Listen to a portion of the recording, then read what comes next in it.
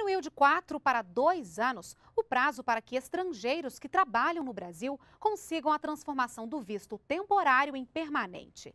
A ideia é reduzir a burocracia entre os países. De janeiro a junho deste ano, quase 33 mil profissionais tiveram permissão para trabalhar aqui no Brasil. Todas as informações estão no site do Ministério da Justiça.